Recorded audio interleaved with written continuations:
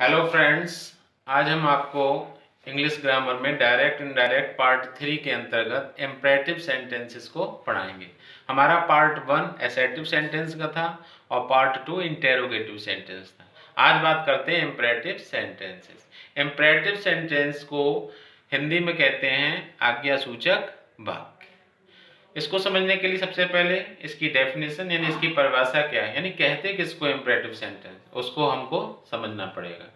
An imperative sentence is a type of sentence that gives advice expresses a command an order a direction और a request it means imperative sentence एक ऐसा sentence है जिसमें कि advice, सलाह दी जाए। Expresses a command आज्ञा दी जाए। एन ऑर्डर आदेश किया जाए। आ डायरेक्शन कोई निर्देश दिया जाए। और अ रिक्वेस्ट या निवेदन किया जाए। ऐसे वाक्य जिनमें आज्ञा, सलाह, निवेदन, निर्देश आदि का उल्लेख हो, वो सब इम्परेटिव सेंटेंस यानी आज्ञा सूचक वाक्य कहलाते हैं। एग्ज़ाम्पल से हम लोग समझते हैं।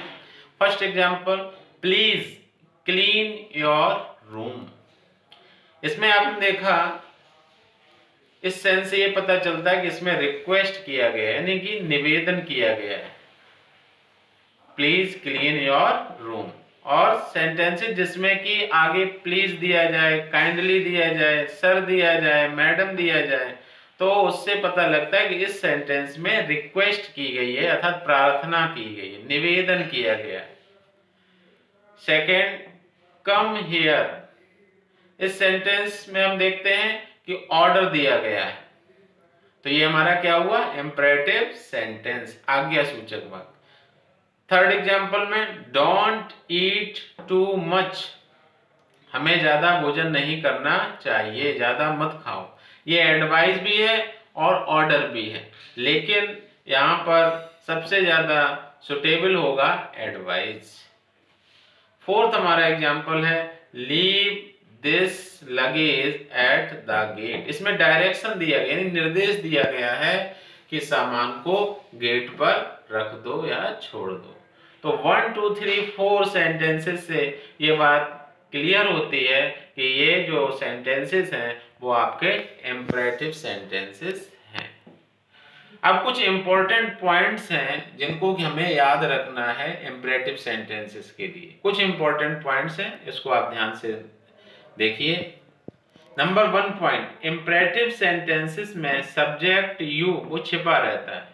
मतलब अंडरस्टूड रहता है। सब्जेक्ट यू जैसे कि आपने इसे यहाँ एग्ज़ाम्पल देखा प्लीज़ क्लीन योर रूम किससे कहा जा रहा? आपसे। यू मीन्स तुम या आप। प्लीज़ क्लीन योर रूम अपना कमरा कृपया साफ़ करो। इसमें सब्जेक्ट कौन सा छिपा हुआ है? यू। कहीं सब्जेक्ट आपको नज़र आ रहा? नहीं आ रहा। लेकिन इसमें छिपा हुआ ये चीज़ अंडरस्टूड है। तो फ़र्स्ट पॉइंट आपको याद रखना है कि इंपरेटिव सेंटेंसेस में सब्जेक्ट यू छिपा रहता है। नेक्स्ट पॉइंट इसमें एम बी वन यानी मैन वर्ब की फ़र्स्ट फॉर्म सेंटेंस के प्रारंभ में होती है। आपने देखा होगा, ये फोर आपको एग्ज़ाम्पल दिए हैं। इसमें आप देख रहे हैं कि clean come eat and leave ये वर्ब्स हैं. ये कैसी वर्ब्स हैं? M B one first form में. वो सेंटेंस के शुरुआत में ही रखी हुई हैं. तो दूसरा पॉइंट आपको रिमेंबर रखना है. इसमें एम बी वन यानी मेन वर्ब की फ़र्स्ट फॉर्म सेंटेंस के प्रारंभ में होती है.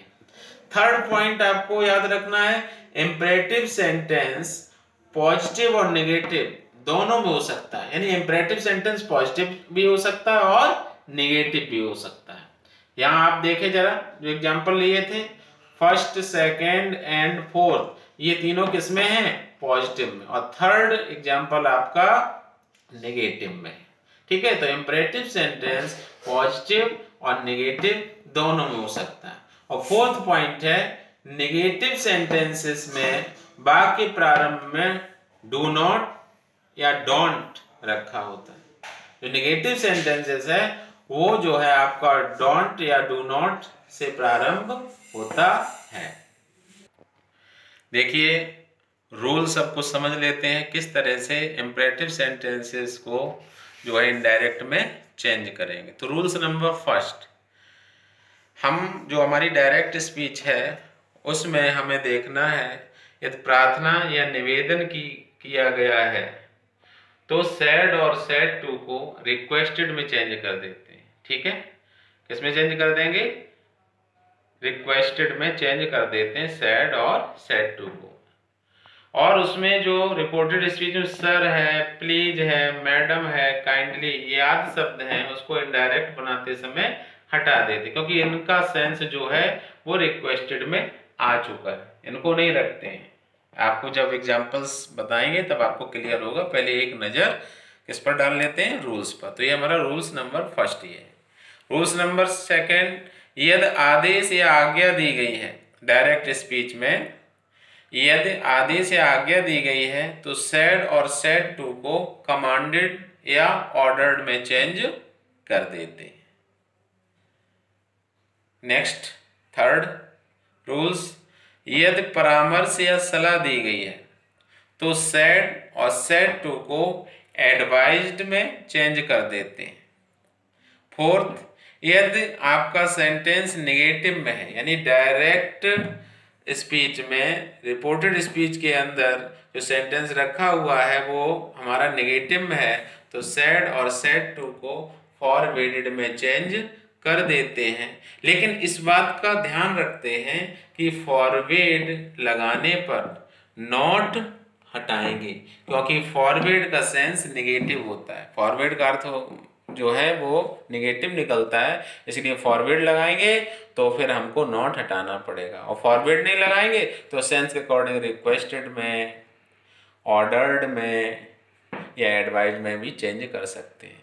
और अगर नेगेटिव सेंटेंस तो आप फॉरवर्ड में भी कर सकते हैं, ठीक है? लेकिन इस बात को ध्यान रखते हैं you have to keep in your mind that when we put forward we have to not put okay inverted comma हटाकर टू लगा देते हैं। इन्वर्टेड कॉमा हटाएँगे, उसकी जगह टू लगा देंगे और टू से पर्व की फ़र्स्ट फॉर्म ऐड कर देते हैं। और लास्ट इसका है पॉइंट डू नॉट को नॉट टू में चेंज कर देते हैं और इस तरह से ये आपके रूल्स हो गए। देखिए एग्ज़ाम्पल से हम देखते हैं। आपने अभी रूल्स पढ़े। Number one he said to his servants go away at once उसने अपने नौकरों से कहा, तुरंत चले जाओ। आपने देखा, जब भी आप डायरेक्ट स्पीच को देखते हैं तो उसको पढ़ने के बाद खुद सेंस आपका निकलता है सेंस से आप देखेंगे कि इसमें ऑर्डर है, कि एडवाइज्ड है, या जो है रिक्वेस्ट है। तो इस डायरेक्ट स्पीच को देखने से पता चलता है कि इसमें क्या दिया गया है? ऑर्डर तो सेट टू को किसमें चेंज कर दिया? Order he ordered his servants inverted comma remove कर दिया टू लग गया। और टू से वर्ग की फ़र्स्ट फॉर्म को ऐड कर दिया। ही ordered his servants to go away at once next example the जज said comma inverted comma call the first witness जज ने कहा कि पहला जो गवाह है उसको ले आओ। द जज कमांडेड जज क्या करता? है कमांड आदेश देता है। तो सेट और सेट टू किसमें चेंज हो गया? कमांडेड और ये आ गया आपका ऑब्जेक्ट्स में दिया नहीं गया, लेकिन थर्ड पर्सन में मैंने कल भी बताया था आपको, किसी को ले लेते थर्ड पर्सन में, चाहे वो हिम हो हर हो या देम द जज commanded them inverted comma remove किया to call the first witness third example he said to his friend please lend me your book उसने अपने मित्र से कहा, कृपया अपनी बुक दे दो. तो वो उससे क्या कर रहा है? निवेदन कर रहा है। रिक्वेस्ट कर रहा है प्लीज़ दिया गया है। प्लीज़ काइंडली सर मैडम तो इससे भी सो होता है कि इसमें रिक्वेस्ट की गई है तो सेट टू को चेंज कर दिया। रिक्वेस्टेड में he requested his friend to lend अब यहाँ हम जरा देखते हैं किस तरह से प्रोनाउन चेंज होते हैं। आपको पार्ट फ़र्स्ट में पूरा चार्ट बनवाया, बताया, उसको आप फॉलो करें। मी कौन पर्सन है? फ़र्स्ट पर्सन किसके अकॉर्डिंग चेंज होगा? रिपोर्टिंग वर्ब की सब्जेक्ट अकॉर्डिंग कौन सा केस है? मी ऑब्जेक्टिव केस तो ही का ऑब्जेक्टिव क्या हो जाएगा? हिम तो यहाँ पे क्या पुट कर दिया? हिम योर योर कौन पर्सन है? सेकेंड पर्सन और पजेसिव केस है. ऑब्जेक्ट के अकॉर्डिंग चेंज होगा, इसलिए हिज का क्या हो जाएगा? पॉजेसिव केस हिज तो पूरा बन गया सेंटेंस इन डायरेक्ट स्पीच का. He requested his friend to lend him his book fourth examples देखते हैं. He said to his friends comma inverted comma work hard उसने अपने मित्रों से कहा कठिन परिश्रम करो। तो क्या किया? Advice the he advised his friends to work hard inverted को कोमा रिमूव कर दिया टू पुट कर दिया। एंड लास्ट एग्ज़ाम्पल इसको जरा ध्यान से देखें और ये टेट एग्ज़ाम में भी आया example the doctor said to the patient don't eat too much doctor ने पेशेंट से कहा, जो है, अधिक भोजन नहीं करना चाहिए। द डॉक्टर एडवाइस डॉक्टर हमेशा पेशेंट को क्या करेगा? ऑर्डर नहीं करेगा एडवाइस देगा। एडवाइस मानना आपके ऊपर है। The doctor advice the patient comma inverted comma हटाते हैं, उसकी जगह टू लगाते हैं, चूँकि डू नॉट दिया गया डू नॉट को नॉट टू में चेंज करते हैं तो अगेन टू नहीं लगाएँगे। डू नॉट को किसमें चेंज कर दिया? Not to the doctor advised the patient not to eat too much इसी सेंटेंस को अगर हम फॉरवर्ड लगाने पर बनाएँगे, क्योंकि रूल्स में आपको बताया था अगर निगेटिव है तो फॉरवर्ड का भी यूज़ करके कर सकते तो कैसे बनेगा? The doctor forwarded the patient फिर ये आपका नॉट है, वो हट जाएगा। इन्वर्टेड कॉमा हटा दिया टू लगा दिया नॉट नहीं आएगा। To eat too much the doctor forwarded the patient to eat too much आइए अब देखते हैं इंपरेटिव सेंटेंस में कुछ लेट वाले भी वाक्य होते हैं। लेट से स्टार्ट होते हैं, लेकिन ये दो प्रकार के होते हैं। यदि लेट के बाद अस है, यदि हमारा सेंटेंस लेट अस से प्रारंभ होता है तो उसके कुछ रूल्स हैं। उनको जरा एक नज़र में देखते हैं। सेट को प्रपोज में और सेट टू को प्रपोज टू में चेंज कर देते हैं। ये हमारा जो है डायरेक्ट स्पीच लेट अस से स्टार्ट होती है रिपोर्टेड स्पीच यदि रिपोर्टिंग वर्ड का सब्जेक्ट थर्ड पर्सन है तो लेटस के स्थान पर दे शुड रखते हैं। यदि सेकेंड पर्सन है तो लेटस के स्थान पर इनडायरेक्ट बनाते समय यू शुड रखते हैं। और यदि फ़र्स्ट पर्सन है तो बी शुड रखते हैं। ये किसके स्थान पर जाते हैं? लेटस के स्थान पर। इन्वर्टेड कॉमा रिमूव करते हैं और उसकी जगह दैट लगाते हैं। सिंपल इसके रूल्स हैं। एग्ज़ाम्पल से हम लोग समझ लेते हैं। He said to me comma inverted comma let us wait for the result इस डायरेक्ट स्पीच में देखा सेट टू रूल्स के अकॉर्डिंग प्रपोज टू में चेंज होगा he propose to me that लगा दिया। अब हम देखते हैं रिपोर्टिंग वर्ब का जो सब्जेक्ट है, वो ही है, और ही के कौन सा है? थर्ड पर्सन तो लेटर्स के स्थान पर क्या आ जाएगा? दे शुड रूल्स के अकॉर्डिंग क्योंकि बताया था, यदि रिपोर्टिंग वर्ब का सब्जेक्ट थर्ड पर्सन है तो दे शुड रख देते हैं। लेटेस्ट हट जाएगा, उसकी जगह क्या रख देंगे? दे शुड उसके बाद पूरा वैसे ही एजिटिव कर देंगे. They should wait for the result next example I said to him let's come to play I propose to him that be should be should इसलिए आगे क्योंकि रिपोर्टिंग वर्ब का जो सब्जेक्ट है वो फ़र्स्ट पर्सन है, इसलिए लेटेस्ट की जगह बी शुड हमने पुट कर दिया. कम टू प्ले तो पूरा हो गया हमारा वो indirect speech I propose to him that be should come to play और देखिए, ये है लेट वाले भाग यदि लेट के बाद अस नहीं है तो। इसके रूल्स इस प्रकार हैं, कुछ सेट एंड सेट टू को सेंस के according requested ordered advised commanded forwarded में चेंज करते हैं। वही पुराने वाले रूल्स हैं, जो कि हम इम्परेटिव सेंटेंस शुरुआत में बता चुके हैं। डू नॉट को नॉट टू में चेंज कर देते हैं। इन्वर्टेड कॉमा को रिमूव करके उसके स्थान पर टू लगाते हैं। और इसमें इस बात का विशेष ध्यान रखते हैं कि टू जब लगाएँ तो लेट नहीं हटेगा। बस यही इसमें आपको रिमेंबर रखना है कि टू लगाने पर लेट हटेगा नहीं। और वैसा ही है रूल्स एग्ज़ाम्पल से देख लेते हैं। He said to him comma inverted comma let them free तो इस सेंटेंस में आप डायरेक्ट स्पीच में देखा कि ऑर्डर हो रहा है।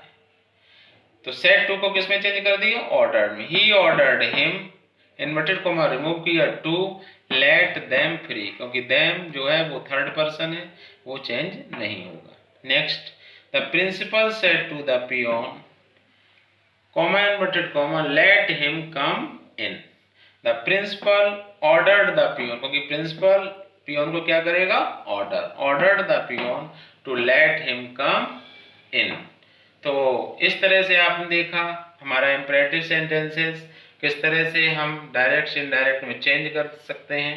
यदि आपको हमारा ये वीडियो अच्छा लगा हो, पसंद आया हो तो प्लीज़ ज़रूर सब्सक्राइब करें बेल आइकन को दबाएँ और अधिक से अधिक शेयर करें लाइक करें, जिससे कि न्यू नोटिफिकेशन आपको मिल सके। Thank you Radhe Radhe